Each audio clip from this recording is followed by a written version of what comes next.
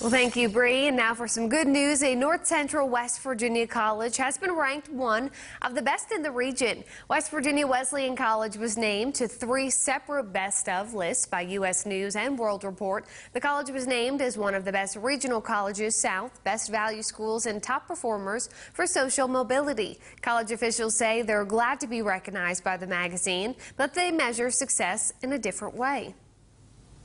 But yeah, there are lots of other places where we find that recognition, and and at the end of the day, though, the stu our students, our graduates, are the measure of our success.